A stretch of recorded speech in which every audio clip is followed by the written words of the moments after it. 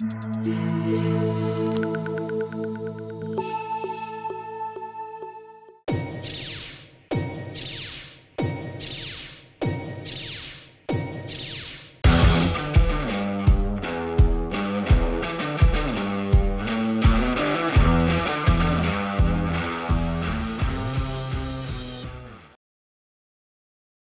Olá, pessoal, tudo bem com vocês? Estamos aqui para mais um programa As Pessoas Inspiram pela Vale TV e gostaria é, de convidar uma, uma convidada aqui muito especial, né? Ela está em São Paulo, mas ela vai contar para a gente, a Cirlei Carvalho, ela que é founder uh, do, do mercado de gestão uh, de carreira. Ela é doutoranda também em psicologia organizacional, mestre em psicologia social e organizacional, mentoring, é, personal coach de projetos de assessment center, facilitadora de soluções de aprendizagem comportamental e gestão de carreiras, embaixadora da Rede Cidadã é, aqui do Rio Grande do Sul e sócio do Instituto Êxito de Empreendedorismo e também foi ex, uh, executiva da editora Abril. Eu vou chamar aqui então Cirlei Carvalho, nossa convidada de hoje. Seja bem-vinda. Obrigada, muito obrigada. É tão engraçado assim quando a gente vai ouvindo as pessoas falando do nosso da nossa bio, né? Porque na verdade isso tudo é um conjunto de coisas que a gente vai que a gente vai acumulando na vida ou sendo convidada a participar, né? Quando, quando tu olha assim, nossa, será como é que essa pessoa dá conta de ser, né? Isso ou aquilo, ou aquilo e isso junto, mas na verdade é que na vida a gente vai é, ocupando alguns espaços, né? Ocupando alguns papéis, se interessando por algumas pautas e isso vai tornando o, o, o, nosso, o nosso currículo uma coisa assim é, extensa às vezes, né? Mas que na verdade é, quando eu olho para tudo isso e eu, e eu me pergunto assim, mas quem, é, quem sou eu, né? Eu acho que é uma coisa que eu estou sendo, porque a cada momento, em cada um desses papéis, cada oportunidade que a vida me dá, eu acabo é, me engrandecendo muito, né? É verdade. E é, e é, muito curioso, né? Eu tive essa semana, excelente, a gente começar aqui contar que tu quero que tu conte um pouquinho para nós da, da tua trajetória profissional, enfim. Uh, é, é, muito estranho, né? Eu fui convidado para uma palestra que vai ser hoje à noite, inclusive, e eu comecei a procurar é, sobre essa temática na internet, e como é estranho a gente olhar, nossa, uh, um texto que eu fiz, estava lá super bem ranqueado no Google, né? Eu pensei, gente, olha ali um texto meu. E assim a gente vai construindo e a gente vai se é, evoluindo nessa jornada da vida, né? E é bonita isso, né? A gente vê aí as coisas que a gente fez já e que, pós, que podem, né, de certa forma, inspirar outras pessoas, fazer as pessoas é, ter aquela virada de chave, né? Tão importante, principalmente na carreira, né? E eu vi aqui, uh, Cirlei, que tu tens é uma carreira super diferente, assim, é, é, distinta não, com várias é, coisas, né, envolvidas ao mesmo tempo. Eu acho rico isso, eu também gosto é, de, de, de, entrevistar pessoas assim, né, e queria que tu começasse aqui a falar um pouquinho sobre essa trajetória, como é que tu chegou a esses tantas coisas ao mesmo tempo, né, fala um pouco para nós aqui, Silene, por favor. É né, que na verdade elas convergem, elas conversam, Eliane, porque é, é, quando eu falo uh, da, da Mercado Gestão de Carreira é uma empresa uma consultoria na área de recursos humanos. Durante a vida toda, é, há mais de 25 anos atuando na área de RH, eu passei por vários subsistemas da área de recursos humanos e fui afunilando, afunilando em função mesmo da, da questão de, das preferências, das pautas em RH, né, da minha identificação com essa coisa da, de assessoria de carreira, de trabalhar a carreira. Isso é uma coisa que, quando se eu for pegar, quando eu comecei a trabalhar na vida, eu já, de alguma maneira, buscava uma oportunidade na área de recursos humanos. Isso aconteceu lá em 1989, quando eu fui ser estagiária na Caixa Econômica. Eu caí uh, num setor de departamento de pessoal e logo na admissão da, do concurso daquele ano. E ali eu já começava a atender as pessoas que vinham para fazer as suas admissões falando do seu, da sua carreira, do que tá, estavam buscando.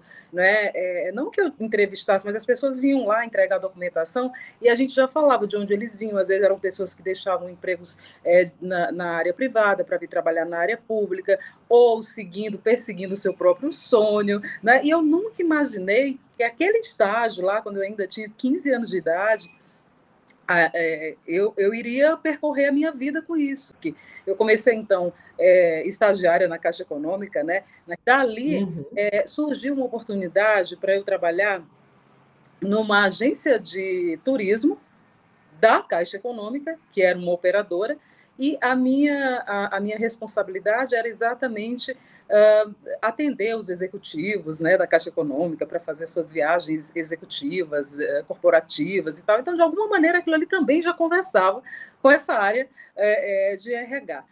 Na própria Caixa, surgiu uma oportunidade para uma vaga que seria para a Credicar, onde eu trabalharia a questão dos relacionamentos dentro das agências para dar treinamentos sobre os produtos do cartão de crédito. Terminou essa trajetória é, na, na Credicar, eu coloquei essa minha empresa porque foi uma oportunidade. É, eu sou de Teresina, Piauí, é um estado, hoje tem mais de um milhão de habitantes, na época tinha 700 mil habitantes e nenhuma consultoria. Naquele período ali, 90 e e seis, as consultorias começavam a explodir, foi aquele período das uhum. engenharias, e não sei o quê, e eu fazia faculdade de administração. E aí é, começou a, a, cidade crescendo, ainda não tinha o primeiro shopping, e um, um gerente de shopping tinha me visto, um gerente de, de hotel tinha me visto com essa coisa de treinamento. Aí ele disse uhum. assim, acho que tu leva jeito para essa coisa e vai abrir uh, no shopping o, a lojas americanas, por que, que tu não faz um processo seletivo desse pessoal? Eu falei, mas eu não sei, né? Como Nossa. é que eu vou? Né? Eu ainda não tenho essa técnica. E ele disse, não, mas eu acho que é interessante tu, tu, começar a entender sobre isso, tu faz um curso de administração, eu acho que é importante tu entender sobre isso. E assim, ó, resumindo, eu tinha uma amiga em São Paulo, que ainda hoje é minha amiga, estou com um café marcado com ela agora para o dia 18, é, ela disse: Sirley, eu tenho uma consultoria em São Paulo, eu posso te ajudar tecnicamente e a gente vê o que faz. Só quero te dizer que o meu primeiro processo seletivo, eu tive que selecionar 200 pessoas, porque foram as pessoas que iam trabalhar na, na, na Americanas, mas também as pessoas que iriam prestar serviço para as lojas americanas. Ali foi o meu grande MBA é, da vida, né? Meu mestrado, meu doutorado, meu, meu tudo, porque eu tive que ir fazendo as coisas conforme a oportunidade acontecia e não tinha outra empresa na minha cidade. A minha empresa nasceu grande lá nessa época, era background, é, não porque ela, ela era uma empresa de 10 metros quadrados, mas porque uhum. eu, né, assim, acabei por conta desse, desse chamado desse meu amigo que enxergou em mim uma competência que eu levei pelo resto da vida, que eu poderia fazer é, isso acontecer. E a partir de então não, não, não, não parou mais de acontecer tudo. O treinamento veio a reboque, recrutamento e seleção, treinamento, desenvolvimento, planos de cargo e salário, eu fui aprendendo fazendo, né? e as coisas foram surgindo. Sala de aula, professora na faculdade, porque aí eu já passava a ser alguém que tinha uma referência. Você falando de artigos, que você olha e diz assim, ah, meus artigos foram tão bem lidos, né? Eu guardo alguns, Eliane, que eu olho assim, eu digo, gente, que vergonha, eu escrevi isso, eu falei isso, né? Sim. Mas, tudo que eu tinha para falar. Claro. A coisa funcionou muito bem, eu tive, então, é uma das minhas histórias de sucesso na minha trajetória foi exatamente esse meu primeiro empreendimento com, na área de recursos humanos. Então, mas sempre muito preocupada com a questão social. Tanto é, uhum. na época, essa minha consultoria eu, eu, reservava dois dias na semana na minha cidade só para atender o pessoal de alta vulnerabilidade. Já naquela época, eu já pensava nisso porque eram pessoas que não sabiam fazer currículo, não sabiam como se portar para uma entrevista, uhum. né? É, e assim a gente é, é, buscava ser canal né, para essas oportunidades. Bom, eu casei, é, saí de Teresina depois de 10 anos que essa empresa já existia e fui em função do meu casamento, eu fui morar em Pernambuco. Lá eu assumi é, posições na área de recursos humanos e gestão de um grupo educacional. Hoje é um grande grupo, que é o Grupo Ser Educacional, né, que é fundador do Instituto Êxito. Né? A Olha, vida. Sim. Né? Dizem que a vida, que o mundo é uma pracinha, e é verdade. Eu digo que o mundo é um lavabo, porque uhum. eu comecei a trabalhar na, na, no grupo Ser Educacional, assumir essa posição de recursos humanos, aquele período que eles estavam ainda iniciando, implantando e tudo. Hoje é uma empresa que está na Forbes, né? né que está tá no, aliás, na, na, Bolsa de Valores já há muito tempo e que o dono já saiu duas vezes na Forbes, que é o Janguier Diniz, uma pessoa que eu respeito muito, esse, esse presidente, um ser humano fabuloso. Então, comecei a trabalhar nas empresas dele, é, instituí o primeiro MBA é, em gestão de pessoas nesta faculdade. É, em paralelo à minha carreira, sempre andando a partir é, é de que eu comecei a trabalhar na área de recursos humanos com a Associação Brasileira de Recursos Humanos. No Piauí, uhum. eu fui uhum. presidente da BRH. Que legal. Quando Recife, é, em paralelo com a minha carreira executiva, então, eu também é, atuava na BRH como vice-presidente da BRH uh, de Pernambuco, uh, e a minha vida ali era isso. Então, trabalhar na área de recursos humanos como executiva, à noite e, aos sábados eu dava aula no MBA de Gestão de Pessoas e na própria faculdade, no curso de Administração, na cadeira de Gestão de Pessoas. Então, isso aconteceu e foi cada vez mais me levando para esse caminho. Saí dali. É, eu falei também da, da, da, editora Abril, a editora Abril foi atrás, foi uma passagem menor, mas também foi uh, como gestora da, da, da filial da, da, editora Abril, e a minha atuação também era na área de treinamento e desenvolvimento, recrutar e selecionar vendedores, enfim, uhum. com as instituições. Dali eu fui pra, para o Rio de Janeiro. Rio de Janeiro, eu tinha uma ideia assim que eu queria fazer um mestrado, eu já mesmo já há muito tempo enxergando a administração de empresas, olhando a coisa muito mais departamentalizada, né, a cada coisa na sua caixinha, as funções e tudo. Eu nunca imaginei é que a empresa precisava ser desta forma uhum. e que uhum. precisasse acontecer exatamente assim. Só que se a gente vai lá atrás, para a gente ter uma ideia de organização, para a gente ter uma ideia de como a empresa funciona e, e, o que, que é necessário para cada competência de quem trabalha em, em cada lugar, ok. Então, mas eu imaginava sempre assim, a organização é bacana é, é, funcionando assim, Taylor, Fayol, né, imaginaram muito bem naquela época, mas a gente precisa entender agora quem são essas pessoas que estão dentro da organização.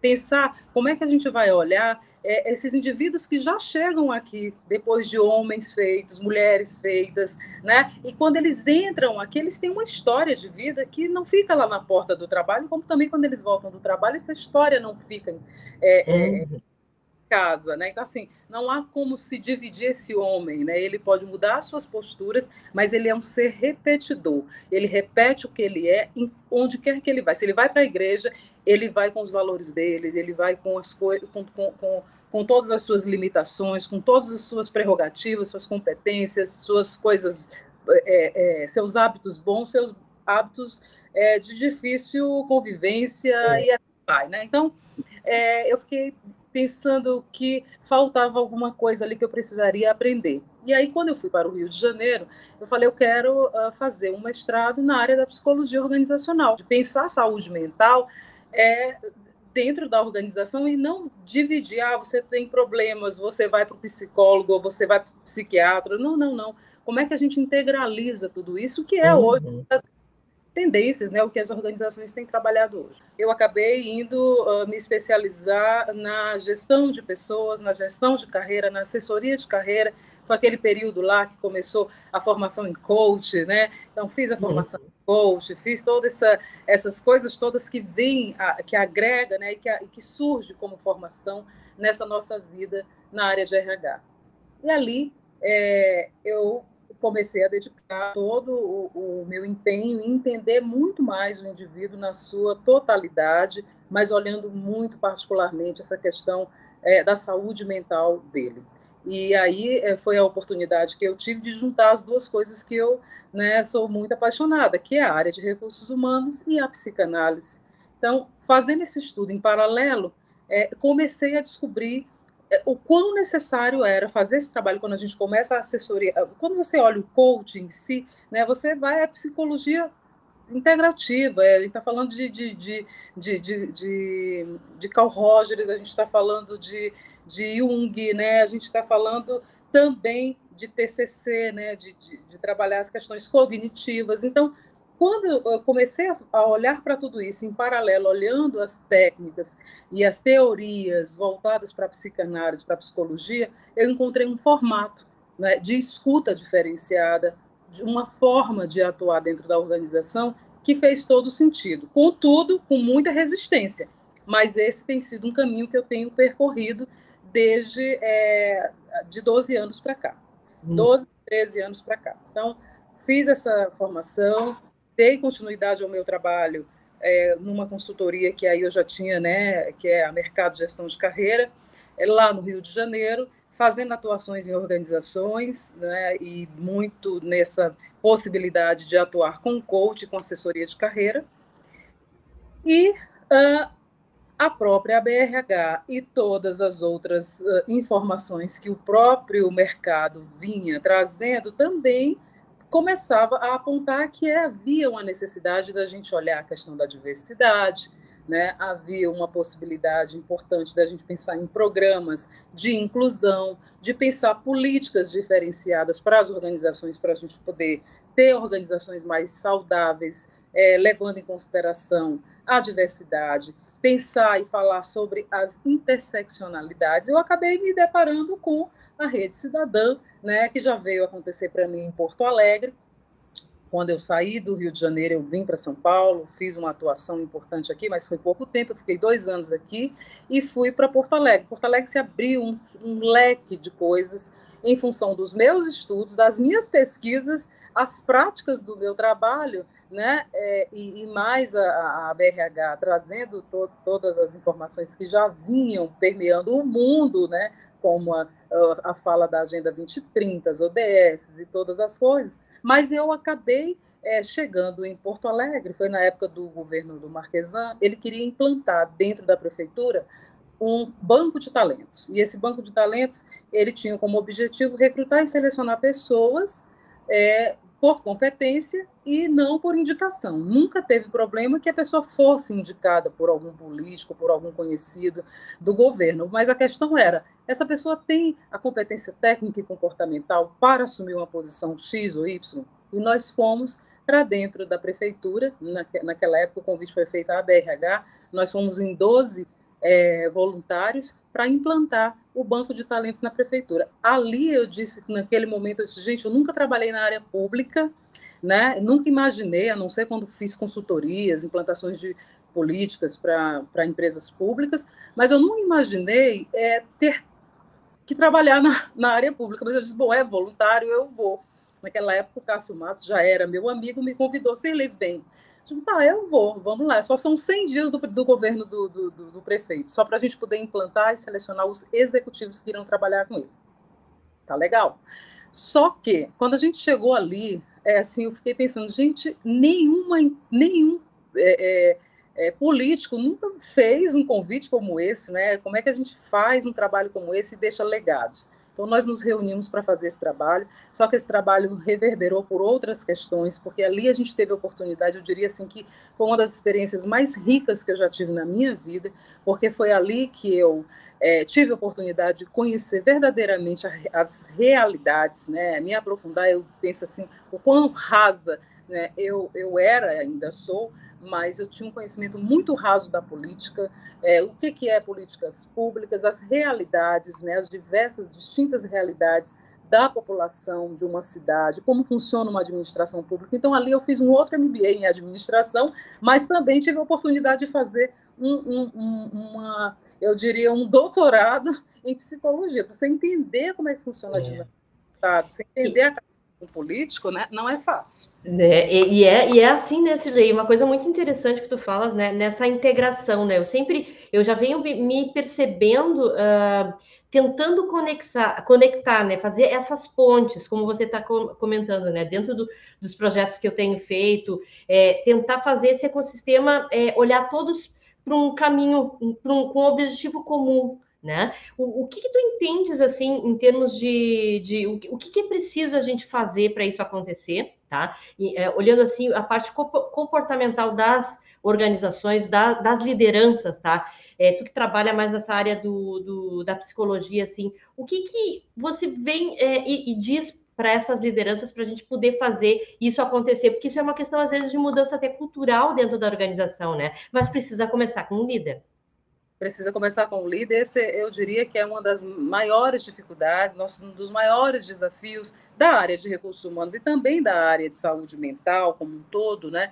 Uh, é a gente eh, fazer, porque de dois anos para cá, da pandemia para cá, menos, né? Mas havia uma resistência muito grande e muitos gestores são abertos, outros, ah, mas a gente vai parar para poder falar sobre isso, né? Uhum. precisa falar sobre resultado. Só que falar de resultado, a gente tem que falar de gente.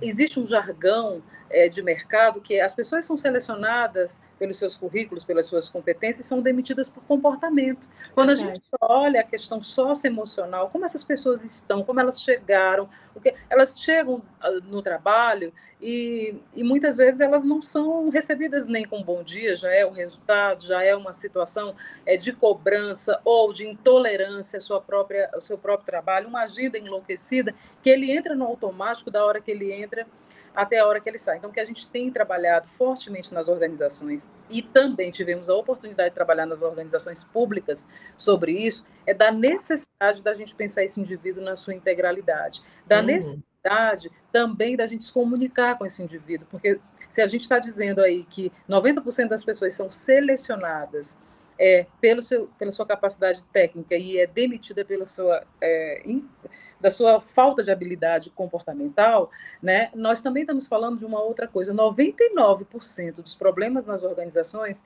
chama-se comunicação. As pessoas não se comunicam, não é porque elas não saibam se comunicar, elas não têm oportunidade de se comunicar. Sim. E quando traz isso para a psicanálise, é, o que, que acontece? As pessoas se curam pela fala, as organizações se curam pelas falas. E nós uhum. estamos com muitas organizações doentes porque as pessoas não podem falar, as pessoas não podem dizer o que pensam, ou pelo menos se podem dizer, elas não estão conseguindo esse espaço de uma maneira é, a, a, se sentir seguras, em ambientes seguros de fala. Uhum. Então, a nossa prática e o que a gente vem falando é sobre a oportunidade que a gente precisa ter. É uma cultura de fala, é uma cultura de diálogo dentro das organizações. Né? A gente começou a falando aí da comunicação não violenta, que tem feito é, um progresso importante nessa questão, mas da importância da gente poder entender esse indivíduo. Agora, na pandemia, nós tivemos essa, é, essa, essa abertura que, se Deus quiser, a gente não vai parar nunca mais. Das empresas nos contratar para ouvir seus funcionários, para é. entender como é que eles estavam, é, eles tinham perdido pessoas. Será que eles só perderam pessoas agora na pandemia? Não, eles perderam a vida toda. Mas a empresa pediu, agora eu quero ouvir sobre a perda dessas pessoas que eles tiveram. Agora eu quero entender como eles se viraram dentro de casa, como é que é a dinâmica, quantas empresas não sabiam qual era a dinâmica do seu funcionário.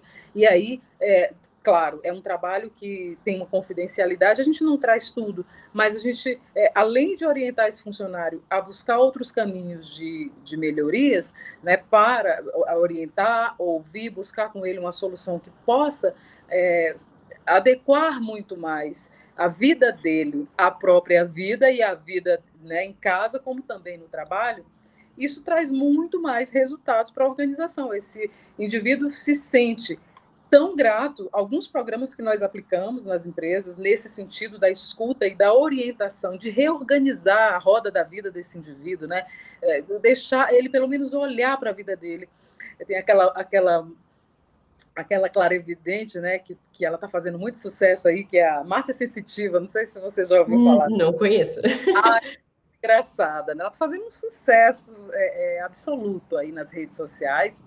E ela diz assim: quando você achar que a vida não está muito boa, sai do teu corpo e olha para ti, né? E vê é, como é que está. No momento da escuta, uh, o que a gente eh, conseguiu junto aos gestores, nas organizações e a sensibilização das pessoas para isso foi deixa as pessoas saírem um pouquinho né, de tudo isso e elas olharem para a sua própria vida. Quantos deles, é, Eliane, nunca tinham tido a oportunidade de parar para pensar como é nossa, eu nunca parei para olhar como é que estava a minha vida espiritual e o quanto que isso uhum em todo o resto. Eu nunca tinha parado para pensar como é que está a minha vida é, é, de lazer, vida social, e eu, eu ainda não tinha parado para pensar como isso está impactando no meu amor, como isso está impactando né, nas minhas relações no trabalho, porque eu estou me mostrando uma pessoa amarga, enfim. Né? E outras coisas, nossa, que bom que está tudo equilibrado aqui, as coisas estão indo bem, é por isso que eu estou feliz nisso, naquilo, naquilo outro. Seja, não é só olhar o que não está bom, é olhar o que está bom também.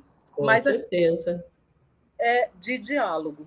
E uhum. aí a uhum. rede cidadã, né, você queria entender, a rede cidadã entrou na, na minha história, inclusive eu agora estou em São Paulo, eu entreguei a, a, a rede cidadã para o Diego, mas é, continuo, né, porque tem programas aí, coisas, compromissos assumidos para para fazer, mas sempre foi em paralelo. Né? A Rede Cidadã, uhum. como embaixadora, a minha atuação foi como é que a gente traz o jovem para o mercado de trabalho, como é que a gente insere esse jovem, esse jovem que quando a gente olha para as estatísticas está cada vez mais crítico, né? A gente vê esse jovem que não, não estuda, não trabalha, e são os próximos né, moradores de rua da nossa cidade, né? Para a prostituição, para a drogadição, ninguém pede carteira de trabalho. Então, nós estamos aí numa batalha, é, olhar o indivíduo na sua integralidade, nas organizações e fora delas também.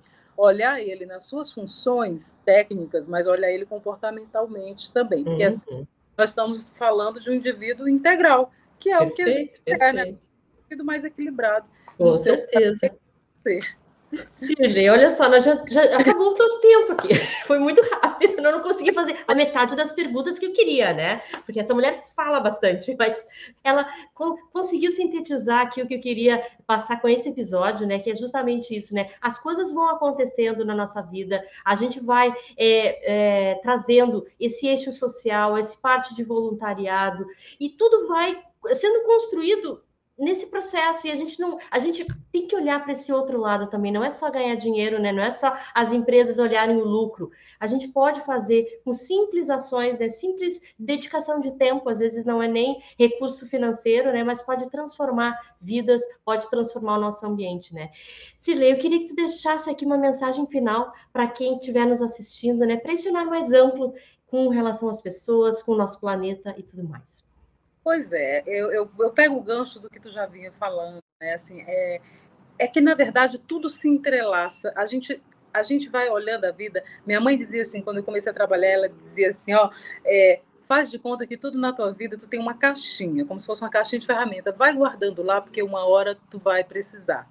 Né? As relações vai fazendo as relações, mas não vai deixando ponta, porque uma hora tu vai ter que dar conta de juntar essas pontas. E aí foi quando eu falei para você, né? Trabalhei com o Janguier Diniz como executiva da empresa dele, na, no, no Ser Educacional, encontro ele em São Paulo na fundação do Instituto Êxito. E aí eu fui né, ser sócia, sócia é, um é um trabalho é, é voluntário, né, mas para trabalhar também com os jovens. As coisas vão se interligando, a gente vai encontrando as pessoas, vai encontrando as pautas que a gente se se identifica e na verdade, sendo voluntário ou não, a vida vai te trazendo chances de tu colocar esse, tu, esse teu talento, essa, essa tua vontade de fazer naquele campo, várias oportunidades que também te traz remuneração, né? Então, uma coisa casa com a outra. Mas é, eu pensei, vou, vou falar de um, de um livro é, executivo? Não, eu quero falar de um livro que fala de vida, sabe? Assim, depois do Pequeno Príncipe, de Saint-Exupéry, tem um livro de um autor português, ele está muito em voga aí, que é o Walter Hugo Mãe. Os livros dele to são todos lindos, mas tem um livro que eu li dele que se chama As Coisas Belas da Vida. E aí, quando você olha, né, um homem de quase 50 anos escrevendo sobre o avô, escrevendo sobre os valores, as coisas que importam para ele, é, que, que sempre foram importantes para ele na vida, na constituição dele como gente, você vai vendo que é isso que faz dele alguém que ele é. é é, foi aí, né, na, na, construção da sua própria personalidade, do seu caráter, da sua reputação, foi que ele pôde fazer sucesso em todas as outras áreas. Então, eu diria que muito antes da gente poder é, pensar em desenvolver essas, é, essas competências técnicas todas, não adianta a gente ter tantos MBAs, tantos mestrados, tantos doutorados, se a gente não tiver um caráter, né? porque para caráter não tem treinamento. Se tu não tem um caráter é, bom, se você não pensa nas coisas que realmente faz valor, olhar a tua referência, de onde tu veio, né? de onde tu veio, para onde tu está indo, esse caminho ele é longo. Então, o que, que te constituiu até aqui e para as conquistas que tu tem na vida? Então, o livro é esse, As Coisas Belas da Vida, Walter Hugo Mãe. Ele vai falar sobre essas coisas e se preparem, se alguém for lê-lo, porque vai se emocionar. Todo mundo teve alguém na vida que fez diferença, todo mundo ficou feliz ou triste com coisas durante a sua vida e faz, né? Ainda hoje, feliz ou triste. E são essas coisas que faz da gente gente. E tirando a roupa, né? E as coisas que a gente tem, nós somos é isso, nós somos gente. Então, que a gente consiga é, ser essa gente que possa estar nos lugares e que possa fazer a diferença, que possa fazer desse mundo um lugar melhor para se viver. Muito bem, muito bem. Gente, quem está aqui com a gente aqui no, na Vale TV, no programa As Pessoas Inspiram, eu agradeço de coração, agradeço a Cirlei aqui que está é, dedicando seu tempo para compartilhar um pouquinho da sua vida e tudo que ela tem feito, né? Esse olhar tão, tão bonito aí com uh, relação a, a, ela, aos outros e ao planeta que ela vive. Então, agradeço de coração e até o próximo programa com As Pessoas Inspiram, tá bom? Bye, bye. Muito obrigada, Eliane. Tchau, tchau. Tchau, tchau.